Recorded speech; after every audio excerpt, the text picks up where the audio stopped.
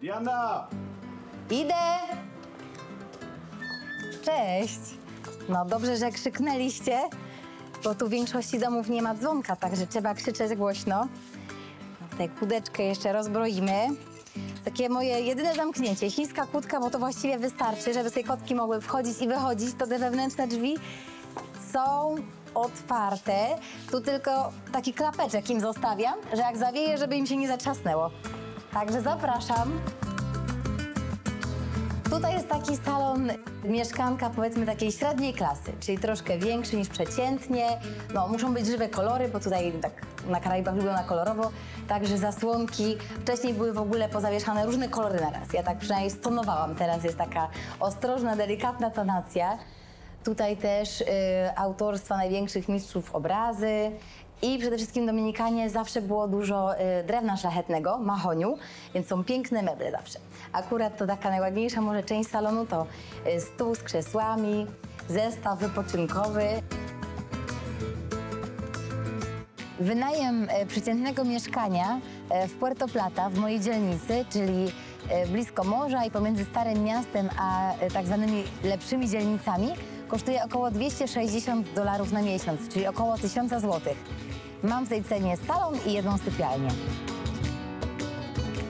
Tutaj sypialnia troszkę taka ciemna, bo są e, żaluzje w oknach zamiast szyb, e, firaneczki, żeby nie wpadały komary, e, więc tak dusznawo, ale wiatraczek jakoś daje radę, żeby sobie trochę ulżyć w nocy w tych upałach. I jest komórka z rzeźbami z drewna Guayacan, to jeszcze Indianie rzeźbili w tym drewnie, także ja mam do niego taki specjalny sentyment, już mam kolekcję wieloryba, żółwia, jeszcze mam Indianina Taino. No i cały czas jeszcze muszę przeprosić za te walizki w przejściu, ale od półtorej roku y, nie dałam rady się rozpakować. Mam przywiązania do walizek większe niż do szaf. Na Dominikanie zostałam, ponieważ tak naprawdę nigdy nie przyszedł dobry moment, żeby stąd wyjechać.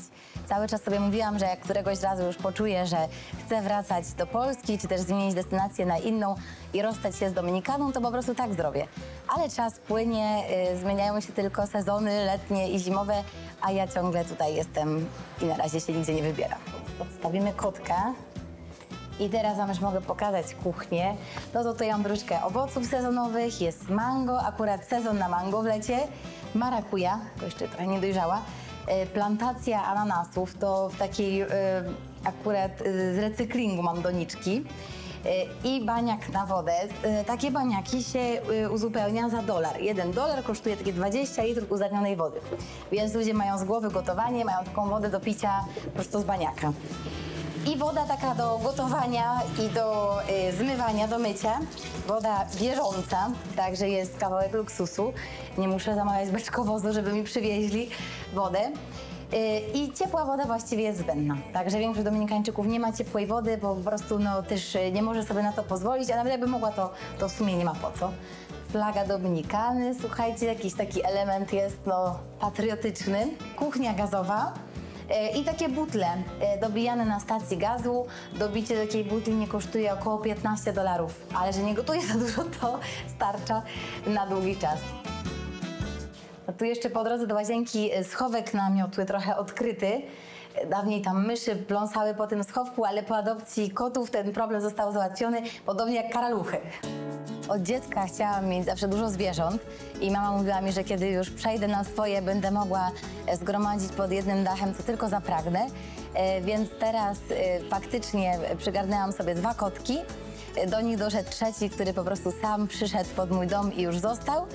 E, I piesek, który przychodził często pod sklep mojego chłopaka, aż w końcu zaczął z nami też chodzić na spacery, jeździć na wycieczki. No i teraz już praktycznie u nas mieszka. No i łazienka, y, myślę, że taka naprawdę jak na Dominikany dobrze wyposażona. Jest bieżąca woda i w kibelku, i w umywalce, i pod prysznicem. Nie muszę się myć, myć przy beczce z wodą, kubeczkiem. Y, nie muszę też uspłukiwać sobie toalety wiaderkiem. Nie chodzę do wychodka na zewnątrz. Także myślę, że dużo Dominikańczyków naprawdę chciałoby taką łazienkę. Ja jestem bardzo zadowolona.